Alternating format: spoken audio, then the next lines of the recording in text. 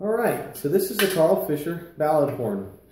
It comes with two mouthpieces. This one, which is more cornet sized, and this one, which is a trombone-ish mouthpiece. Uh, this is a Conn, and the smaller one is a York and Son.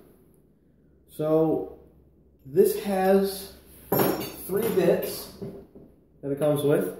The straight bit, which puts it in C.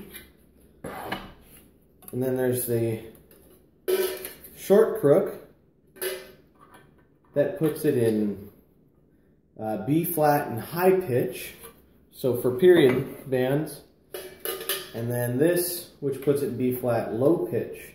So this is what you'd use for if you're a baritone player or if you don't feel like learning C. Uh, this thing is really a sweetheart in C. Since I've got this one in it, I'll play it in B flat and I'll use the larger one. And I'll kind of go through both of these.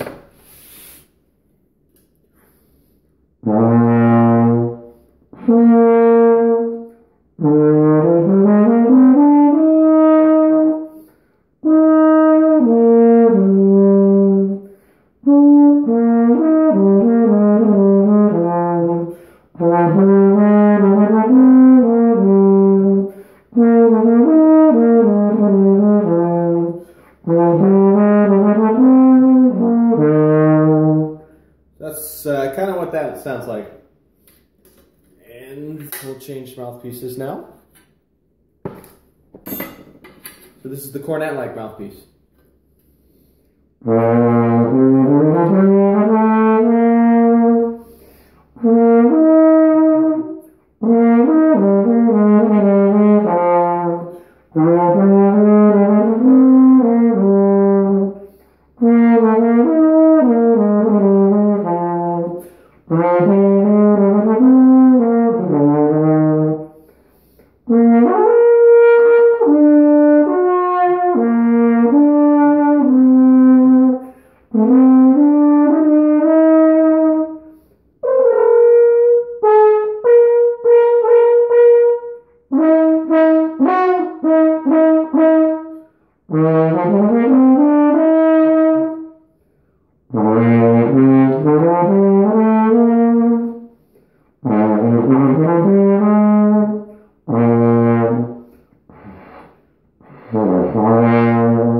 Not getting a pedal tone out right now. Sorry.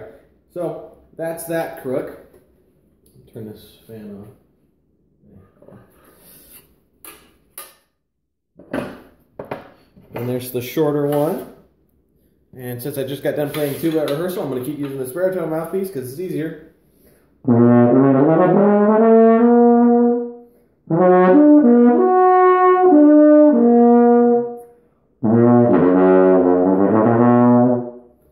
So as far as how to hold this, I kind of go back and forth between two ways. The one thing that's neat about it is you can put your hand in here and tune it like a French horn.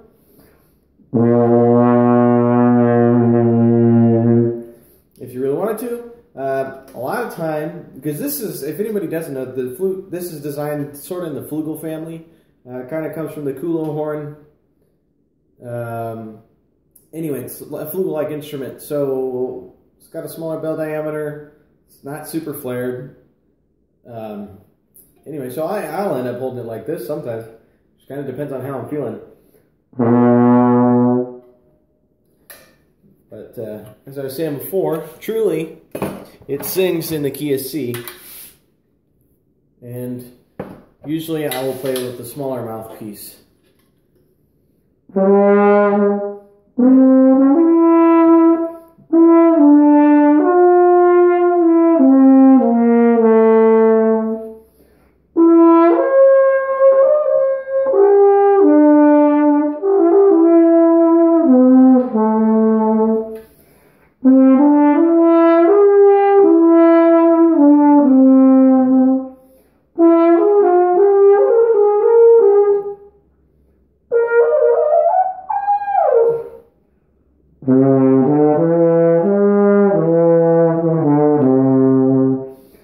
Mm-hmm.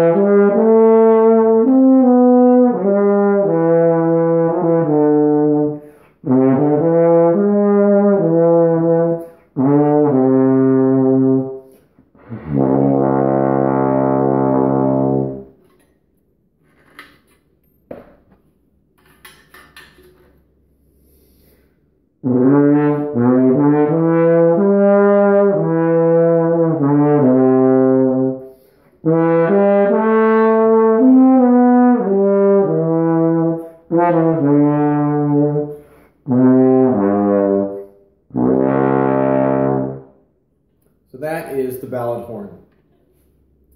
Thanks for tuning in. If you have any questions, send a uh, message or leave a comment.